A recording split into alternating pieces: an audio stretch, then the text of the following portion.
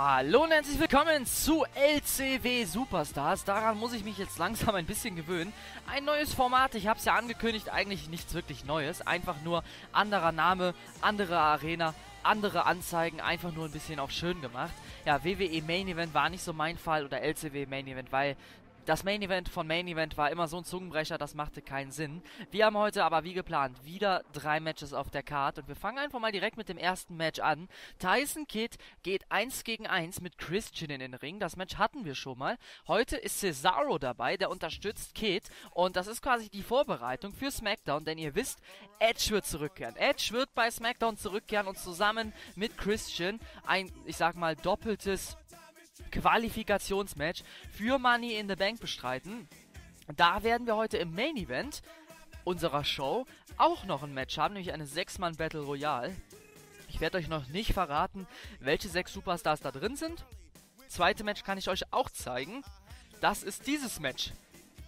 Sin Cara gegen Bad News Barrett. Bei Raw ist es ja tatsächlich passiert. Sami Zayn ist zum zweiten Mal Intercontinental Champion geworden, hat John Cena besiegt. Bad News Barrett hat sich wieder klar auf die Seite von Zayn gestellt. Also wir sagen mal auf die Seite, die gegen Cena halt ist. Und dann hat Sin Cara sich in den Kommentaren gemeldet auf den Kommentar von Bad News Barrett.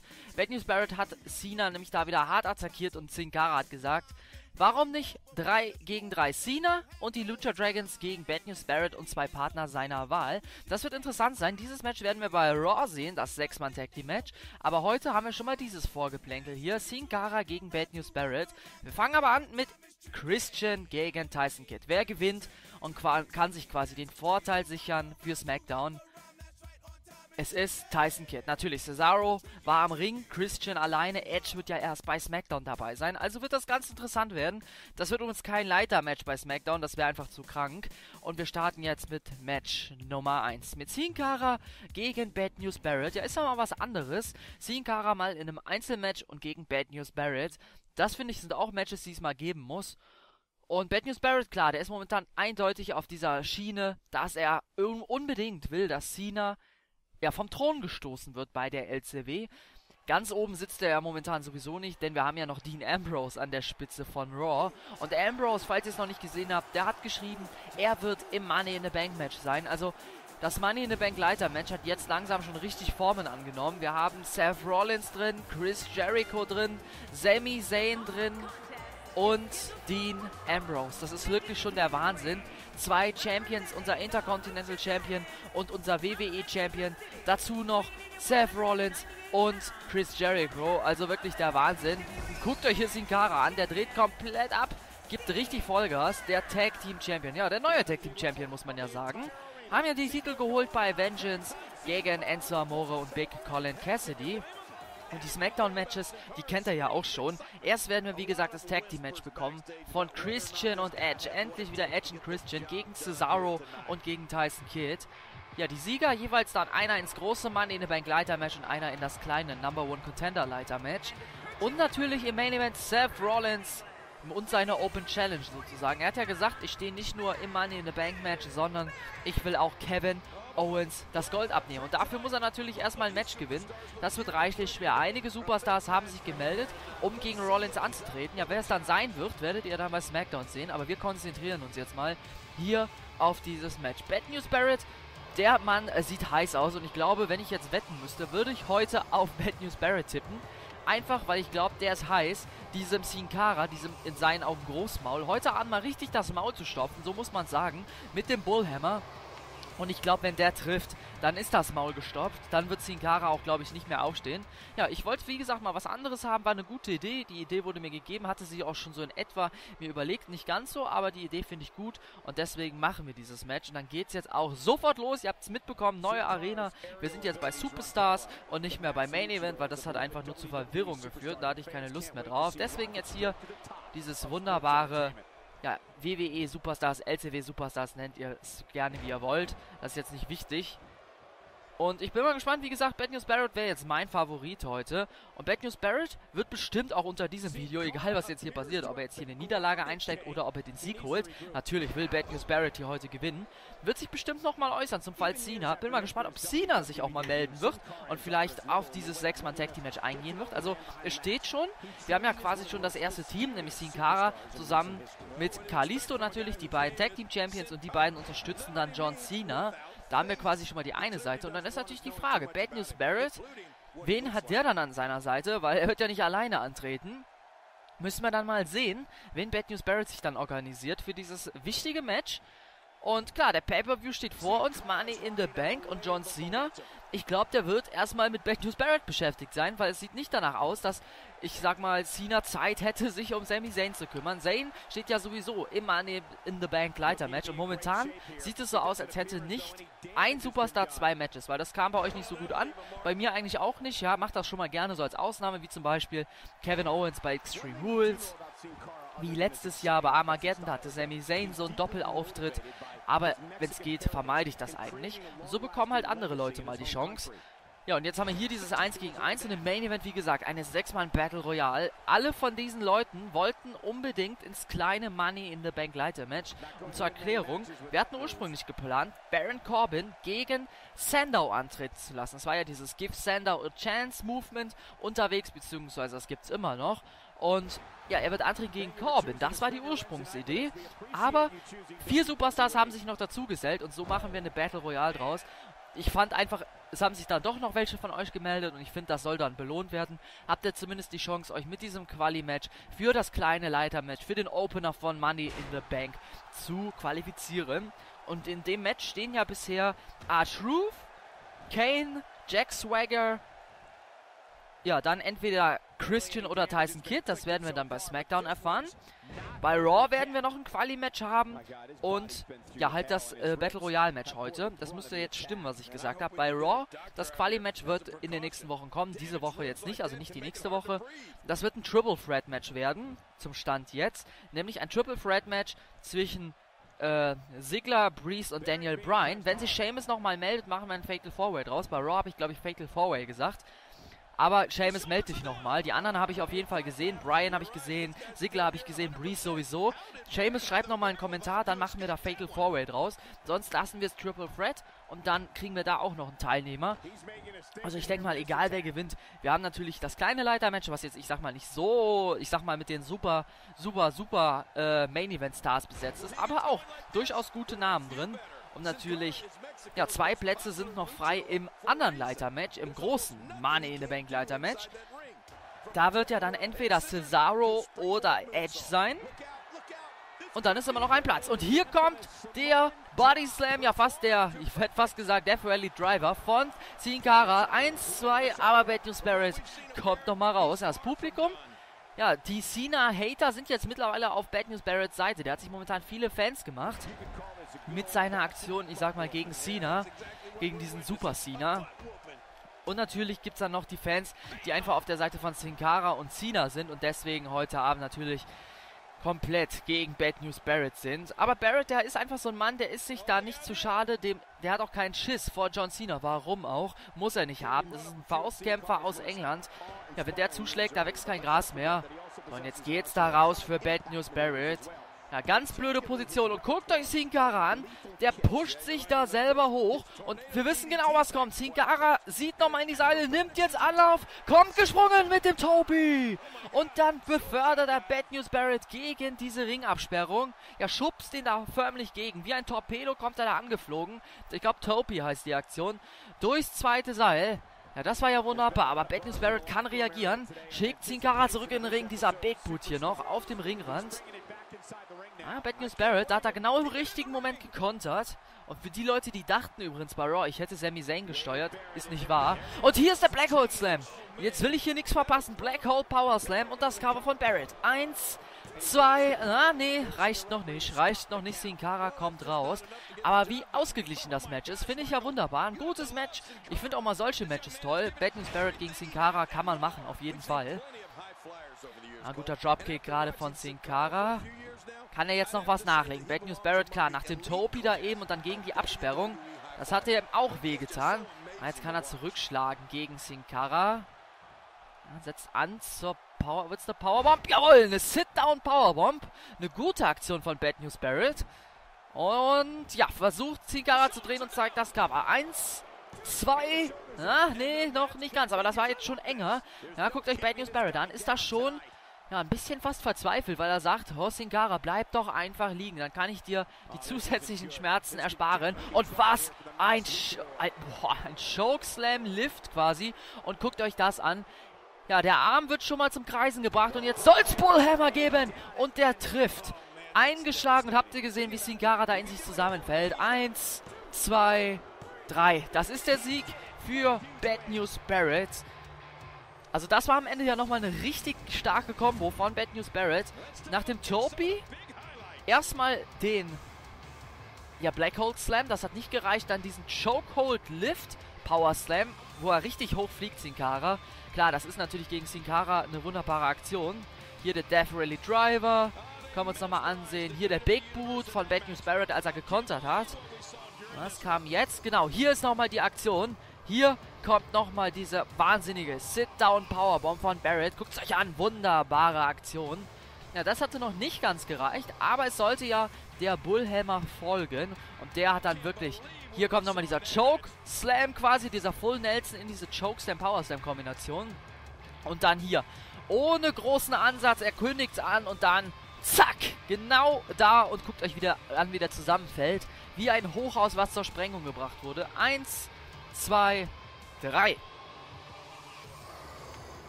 Bad News Barrett also mit dem Sieg über Sin Cara.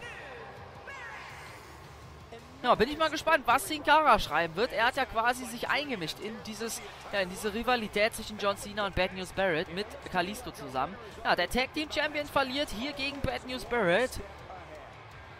Ja, Bad News Barrett kann sich feiern lassen, natürlich. Bad News für Sin Cara. Ja, Cena wird das gar nicht gefallen, was er hier sieht. Wie gesagt, nächste Woche bei Raw 6-Mann Tag Team Match. Sin Cara, Kalisto, die Tag Team Champions, zusammen mit John Cena, dem ehemaligen Intercontinental Champion, gegen Bad News Barrett und dessen Tag Team. Also auf jeden Fall Kommentare lesen. Bin mir sicher, dass Bad News Barrett oder Cena oder Sin Cara oder Kalisto was schreiben werden. Und dann kommen wir jetzt zum Main Event und zur Six-Man Battle Royal. Ich hoffe, ich habe jetzt hier ein Bild eingefügt. Zwei Superstars kennt er ja, nämlich Baron Corbin und Damien Sandow. Die beiden sind safe in dem Match drin gewesen, das muss ich ja keinem erzählen. Aber vier andere haben sich noch hinzugesellt quasi in dieses Match. Ist ein ganz normales Sechs-Mann Over-the-Top-Rope-Match, also kein Elimination, das gibt's ja alles nicht mehr. Und da kommt der Mann, der bei SmackDown ja sein Debüt gefeiert hat. Da kommt The Lone Wolf, da kommt Baron Corbin. Ja, zusammen mit The Miz hat es nicht geklappt, hat sich direkt quasi wieder von The Miz gelöst. Aber so ist das halt in der LCW. Man kann ja mal was ausprobieren. Wenn man merkt, es klappt nicht, musst du halt wieder getrennte Wege gehen. Und jetzt versucht das hier alleine. Natürlich, heute Abend ein Sieg und dann steht er im kleinen Money in the Bank Match. Und das würde ihm ja quasi direkt das Titelmatch sichern.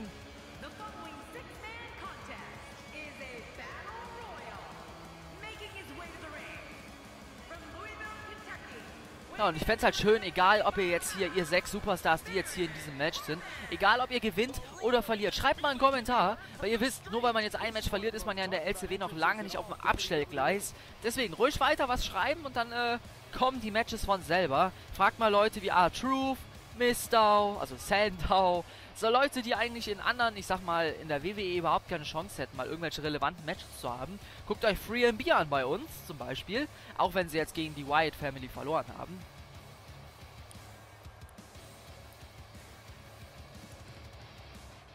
Mal eben einen Schluck trinken. Ja, Baron Corbin, der Mann ist überzeugt von sich, klar. Sein zweites Match, ich sag mal, ist jetzt kein Must-Win, weil sechs Superstars sind halt sechs Superstars, fünf Gegner, die man da hat und die kann für keinen, den wir haben, einfach mal so ein Frühstück sein. Das ist für jeden eine richtig ordentliche Aufgabe. Und da kommt er, da kommt Give Sandow a chance. Ich sag bewusst Sandow. Ich kann ihn leider nicht umbenennen, ihr wisst das ja, wie es im Spiel ist. Da kommt er. Damien Sandow. An der Stelle könnte man fast applaudieren. Ihr habt ihn in dieses Match reingebracht. Ja, aktiv in den Kommentaren. Ich hoffe, das bleibt auch so und bekommt jetzt hier die Chance. Give Sandow a chance und hier bekommt er jetzt seine Chance. Ja, bin mal gespannt, ob er sie nutzen kann.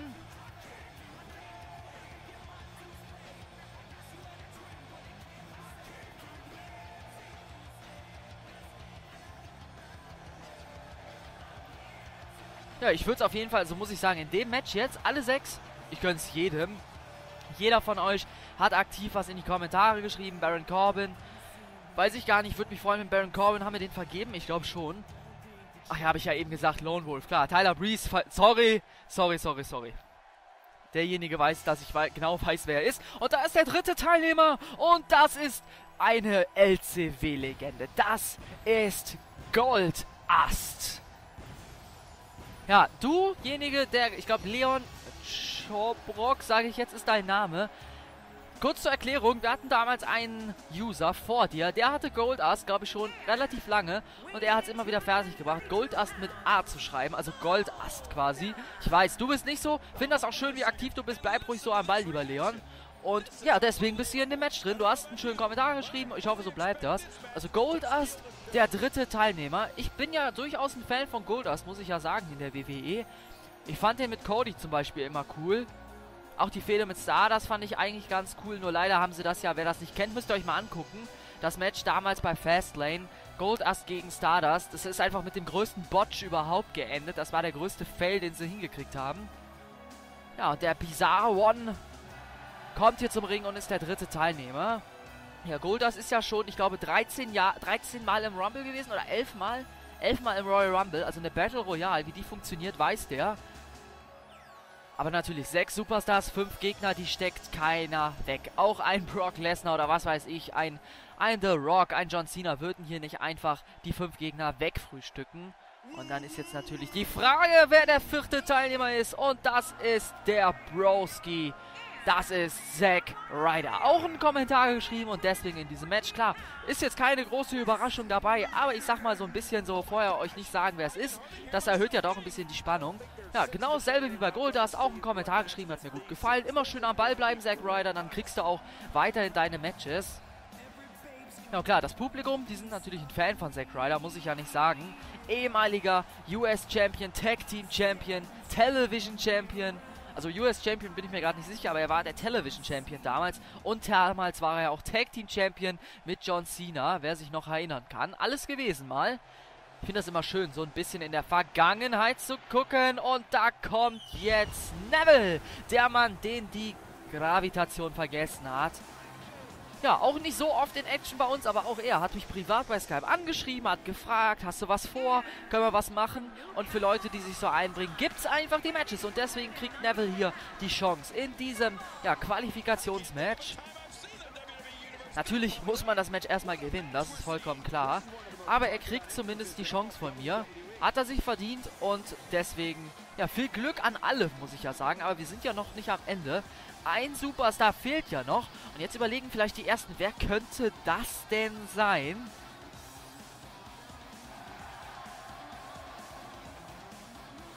Ja, Neville natürlich auch bei den Fans richtig angesagt. Ja, Neville, der muss eigentlich die Chance einfach nur nutzen. Wenn er heute gewinnt, ist es ja schon für ihn richtig gut gelaufen.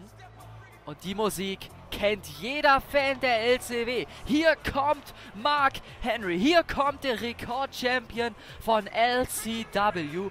Der längste Champion, der längste World Champion aller Zeiten in der LCW. Viele werden sich jetzt wundern, hey, Mark Henry ist doch bei Raw. Das ist total egal. Wir haben hier ein Quali-Match. Es geht schließlich um ein, ich sag mal, Roster-übergreifendes Match. Und da sonst zu viele Superstars von SmackDown die Chance hätten, und so hat wenigstens Mark Henry die Chance. Ob er gewinnt, ist eine andere Sache. Mark Henry kommt zum Ring. Ihr müsst wissen, ich bin sogar ein Fan von Henry. Viele werden jetzt wieder sagen, wie kann man von diesen Leuten Fan sein? Genau wie von Big Show bin ich ja ein Fan, ihr wisst es ja. Ich mag die einfach. Mark Henry, klar, macht er nicht die Top-Matches, aber ich finde den einfach jetzt nicht schlecht. Ich finde den entertainmentmäßig ganz cool. Man muss nur das Richtige aus ihm machen. Ja, und jetzt ist der Rekord-Champion der LCW. Er ist einfach eine Legende von LCW. Da kann mir jetzt jeder sagen, was er will. In der LCW ist Mark Henry definitiv eine Legende. Und dann haben wir jetzt alle sechs Mann im Ring. Und dann wird es jetzt interessant. Ich tippe jetzt einfach und ich setze jetzt einfach mein ganzes Geld auf unseren LCW-Rekord-Champion. Auf, ich sag mal, den Überraschungsgegner.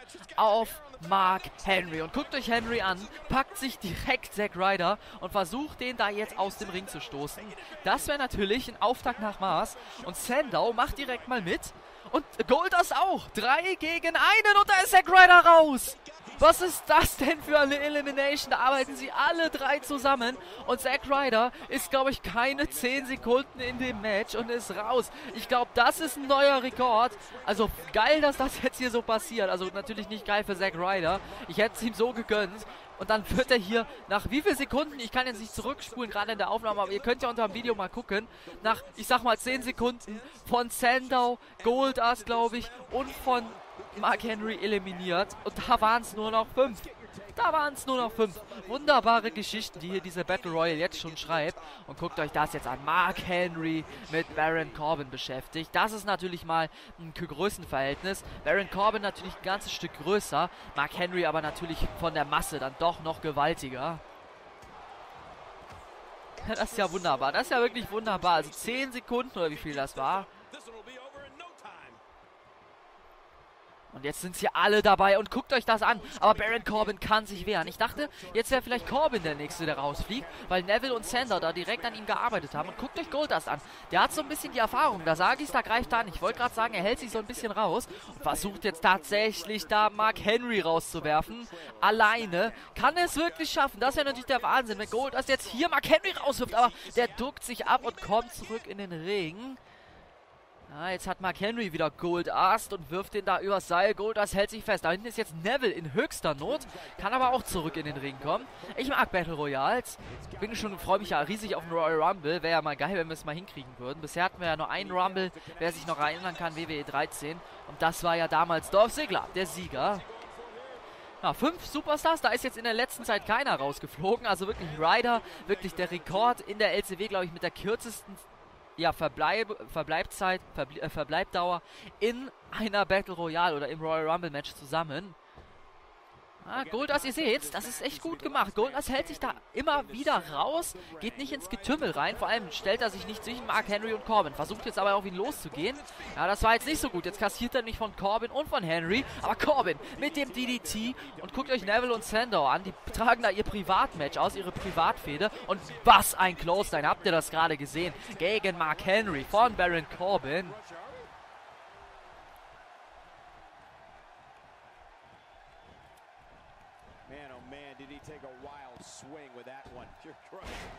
Und was ein Backbreaker von Sander. Habt ihr das gerade gesehen? Gegen Goldust. Und da hinten ist jetzt Mark Henry in größter Not. Corbin versucht da mit dem Fuß Mark Henry aus dem Ring zu treten. Ging ja vorher übers oberste Seil, aber Henry kommt zurück. Und jetzt ist Sander wieder dran. Ja, give Sando a chance. Jetzt muss er die Chance natürlich auch nutzen. Aber auch Goldust, der kann sich da wehren. Weiß natürlich, wie er einer Elimination ja entgegengehen kann und die verhindern kann. Und immer noch fünf Superstars. Jetzt so gerade will sich keiner aus dem Ring verabschieden. Und jetzt ist Sandow da wieder in höchster, Situ äh, höchster Notlage. Kann sich aber auch wehren. Macht quasi das, was Goldust eine Minute vorher gemacht hat gegen ihn. Aber Goldust, schön. Suplex. Natürlich erstmal den Gegner ein bisschen fertig machen. Bisschen schwächen und dann übers Seil werfen ist viel einfacher. Und ich finde das Duell ja gerade super. Mark Henry gegen Barry Corbin. Und ich dachte, da sollte der World Strongest Slam kommen.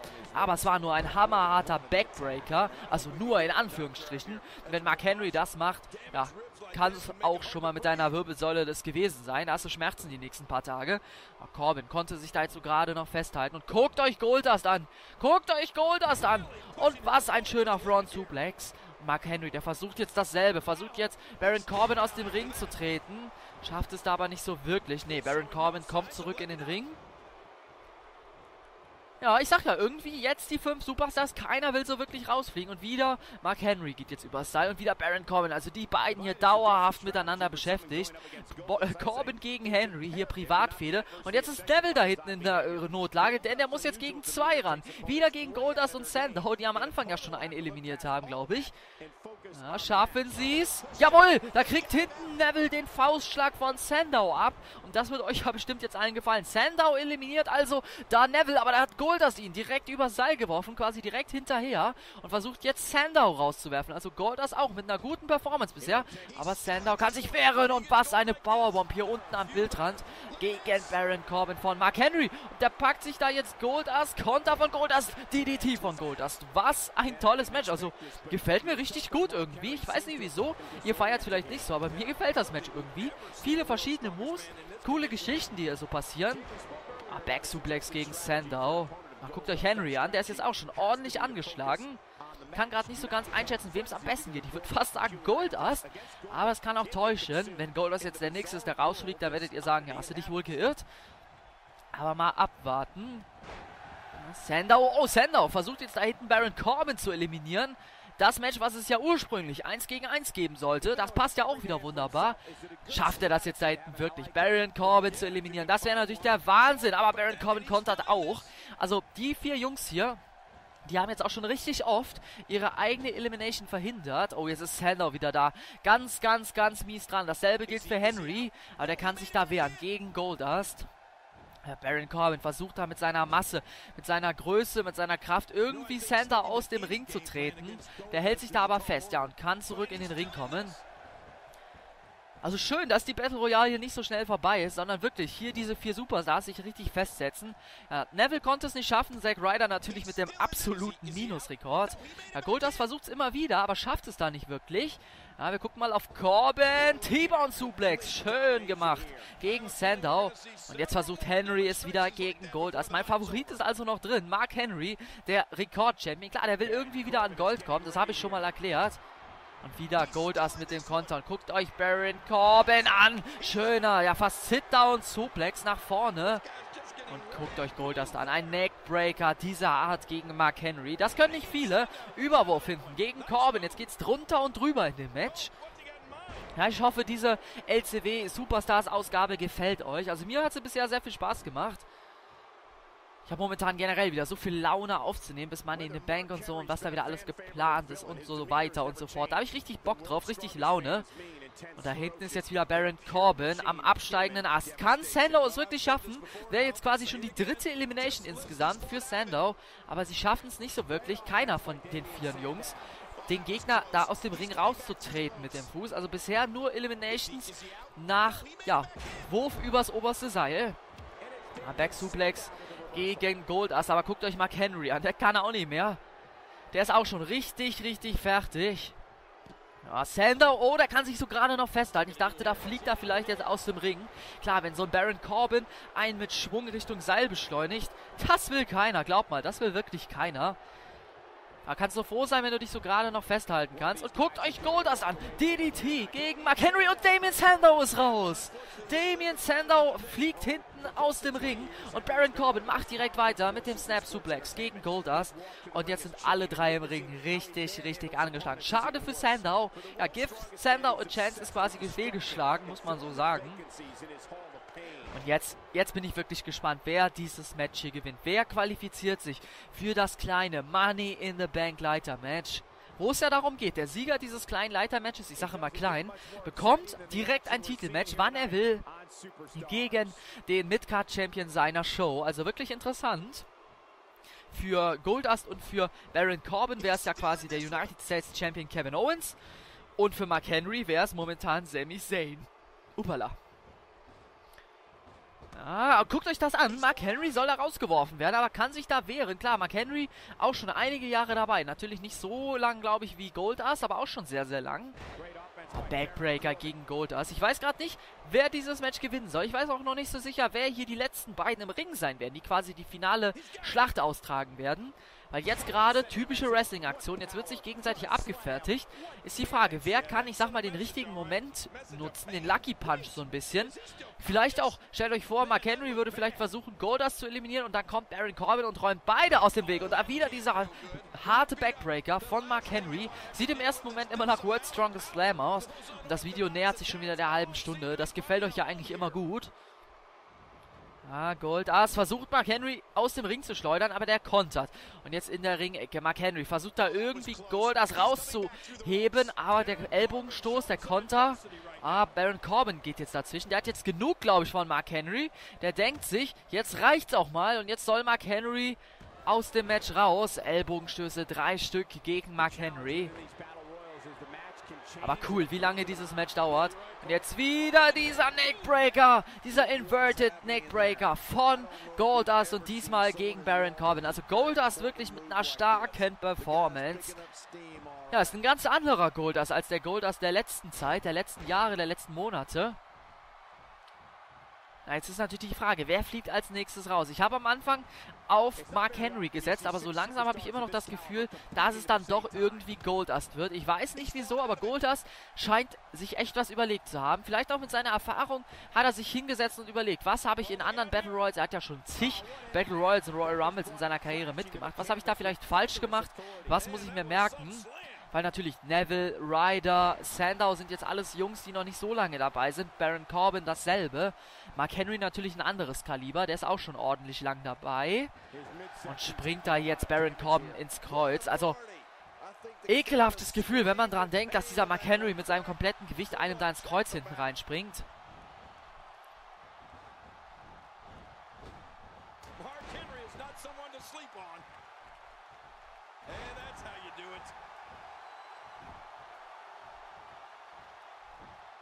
Ah, kann jetzt vielleicht Gold es schaffen, Baron Corbin rauszuwerfen. Ne, geht nur ins Seil und guckt euch Mark Henry an. Hebt jetzt da Baron Corbin hoch zu einem Art Torture Rack. Er hat ihn im Torture Rack, aber Submission bringt hier gar nichts. Und dann zeigt er diesen Neckbreaker. Das war wieder eine starke Aktion.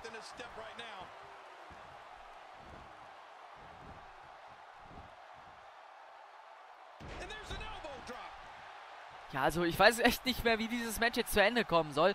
Keiner der drei schafft es mal einen anderen aus der überhaupt über Seil zu werfen, weil alle drei so verbissen sind. Guckt euch Baron Corbin an, braucht eine Pause. Was ist denn mit dem los? Baron braucht eine Pause. Wahnsinn. Wir sind hier in der Battle Royale und der braucht eine Pause. Und da geht er dazwischen. Habt ihr das gesehen? Mark Henry wollte Goldust aus dem Ring befördern.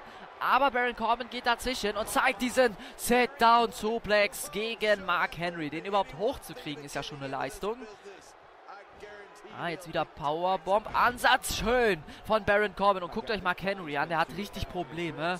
Habe ich vielleicht auf das falsche Pferd gesetzt, so sagt man das, glaube ich. Aber wie soll das Match enden? Keiner dieser drei schafft es gerade auch nur irgendwie, eine, ja, nicht mal eine Nearfall, Nearfall hinzukriegen. Ah, Mark Henry. Ach, und guckt euch das an. Guckt euch das an, wie ein Hall of Famer. Diese, ja, Hundeaktion. Ich weiß gar nicht, wie die heißt, die Aktion. Die Aktion gab es, glaube ich, schon bei äh, SmackDown vs. Raw 2006. Da gab es diesen, ich sag jetzt Junkyard Dog, so hieß der, glaube ich. Der hat diese Aktion schon gezeigt. Und schön, was war das denn? Eine Art Edge-O-Matic fast. Corbin-Matic kann man sagen. Baron-Matic gegen Mark Henry. Also das Publikum, das ist auch schon ganz verwundert, weil die denken sich, ihr wisst, dass das eine Battle Royale ist, ihr müsst eure Gegner übers oberste Seil werfen, beide Füße müssen den Hallenboden berühren. Und das ist hier kein Triple Threat Match, aber die drei, die kämpfen sich das hier richtig schön aus im Ring. Die sagen sich, unsere Matchzeit, wir machen das hier jetzt richtig. Mich soll es nicht stören, ist ja nur wieder ein langes Video. Ich hoffe, das stört dann keinen, aber ich hoffe, dass, das, ich denke mal, das wird es auch keinen stören.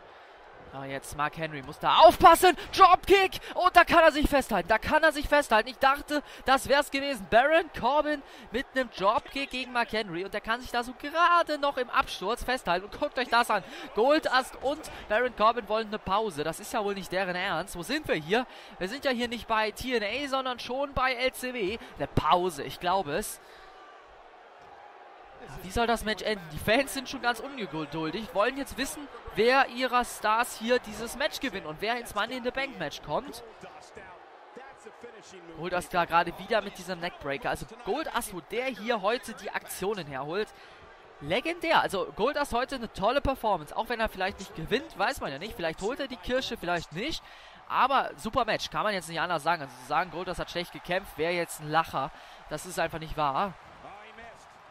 So, jetzt soll es dann doch zur Elimination kommen. Mark Henry befördert da Goldust übers Seil, aber da kommt wieder Baron Corbin und geht dazwischen und befördert Mark Henry übers Seil. Also irgendwie müssen die Jungs sich jetzt was überlegen und Baron Corbin versucht es jetzt mit aller Kraft gegen Mark Henry und Mark Henry ist draußen. Mark Henry ist draußen. Ja, und das ärgert ihn. Und guckt euch Goldust an. Der hat sofort reagiert und Baron Corbin aus dem Ring geworfen. Aber Baron Corbin kontert und bringt da, ja, diesen Shoulderblock quasi und kann so wieder in den Ring kommen. Aber Goldass bleibt am Ball. Das wäre der größte Sieg von Goldass in seiner LCW-Karriere, glaube ich. Das wäre seine Chance, ja, sich ein Titelmatch zu sichern und seinen Platz im Money in the Bank Match. Und jetzt versucht das ohne Ende. Aber wieder Baron Corbin. Wieder mit diesem Schulterstoß gegen Goldust. Goldust schafft es da einfach nicht, Baron Corbin aus dem Ring zu werfen. Ich dachte, das wäre es vielleicht, aber hält sich da so gerade noch fest. Und jetzt muss Goldust alles in seine Beine legen und irgendwie Baron Corbin aus dem Ring stoßen. Kann er das schaffen? Baron Corbin klammert sich da ganz verzweifelt ans untere Ringseil. Klar, der will hier nicht rausfliegen. Das wäre natürlich der Moment für Baron Corbin, wenn er nach der Niederlage im Debüt jetzt hier die Chance nutzen könnte und tatsächlich die Battle Royale gewinnen könnte. Das wäre wirklich stark. Und Goldass versucht weiter und er drückt mit allem, was er hat, auf den Oberkörper von Corbin. Und der, nein, der ist auch nicht draußen. Ich dachte wieder, Corbin ist draußen. Aber Corbin kommt zurück in den Ring. Und jetzt Corbin. Jetzt wirft er Goldas raus. Der ist auch noch nicht draußen. Bleibt da auch hängen. Und jetzt kommt wieder die Aktion mit den Füßen. Versucht jetzt seinerseits Goldas aus dem Ring rauszutreten, wortwörtlich. Kann das schaffen und sich hier vielleicht das Ding holen? Das sieht ganz schlecht aus für Goldas. Guckt euch Goldas an. Der hängt da nur noch mit einer Hand. Und der Fuß ist schon fast am Boden. Und was ist das denn? Guckt euch Baron Corbin, der feiert sich schon. Der feiert sich schon und hat gar nicht gemerkt, dass Goldust gar nicht aus dem Match ist. Also wow, wow, was eine Wendung im Match. Und jetzt ist Corbin auch nicht draußen. Ich dachte, das ist es. Was ist das denn für ein Finish? Corbin feiert sich schon. Ist schon richtig am Taunten, am Feiern. Richtig mit seinen Gesten. Und dann kommt Goldust und eliminiert ihn fast. Also Wow, das ist mal eine Battle Royale. 36 Minuten haben wir jetzt erreicht. Und das Publikum natürlich, die bekommen hier wirklich ein tolles Match geliefert. So muss das auch. Gefällt mir sehr, sehr gut. Und jetzt Baron Corbin. Der hat jetzt Goldass da, wo er ihn haben will. Wirft ihn übers Seil. Goldass kann sich da natürlich nochmal festhalten. Das sieht jetzt schlecht aus, aber wieder Konter von Goldass. Also egal, wer dieses Match hier gewinnt. Beide wollen sie einfach nicht aufgeben. Und beide wollen unbedingt bei Money in the Bank auf die Matchcard und natürlich im Opener stehen. Wenn es dann um das Titelmatch geht. Auch das war wieder knapp. Und jetzt Goldust. Kann das schaffen. Guckt euch an, wie Corbin da hängt. Das sieht ganz schlecht aus für Baron Corbin. Das sieht verdammt schlecht aus. Gewinnt jetzt Goldust mit seiner, ja, überragenden und vor allem überwältigenden Erfahrung. Und er gewinnt. Und Goldust ist tatsächlich der Sieger dieser Battle Royale. Also Goldust, glaube ich, mit dem größten Sieg seiner LCW-Karriere. Hier nochmal die Entscheidung. Da ist Corbin schon fast weg. Ja, da hat er sich an einer Stelle zu früh gefeiert. Ihr habt es genau gesehen. Und am Ende Goldust tatsächlich mit dem Sieg. Der Bizarre One hier. Da hängt Baron Corbin schon nur noch mit einer Hand. Der eine Fuß ist schon fast auf dem Hallenboden und da ist es dann vorbei. So kann es gehen. Goldust steht also als nächster Teilnehmer im ja, Money in the Bank ja, Number One Contender Match, nennen wir es mal. Ja, wunderbar. Goldust also mit einem Pay-Per-View-Auftritt. Das dürfte fast der erste Pay-Per-View-Auftritt für Goldust in der LCW sein. Das wird bestimmt einige wundern, dass Goldust gewonnen hat. Herzlichen Glückwunsch an Leon an dieser Stelle. Ja, schreib doch mal einen schönen Text. Du bist im Match, wenn es um das Titelmatch geht. Also Opener von Money in the Bank. Goldust hat es also schon geschafft. Die anderen fünf leider nicht, aber eure Chance wird bestimmt irgendwann wieder kommen. Das war jetzt wieder ein langes Video. Ich hoffe, es hat euch gefallen. Wir sehen uns bei SmackDown, wenn Edge zurückkommt und Seth Rollins gegen einen Mystery Opponent antritt. Wir sehen uns. Bis dahin. Hell yeah!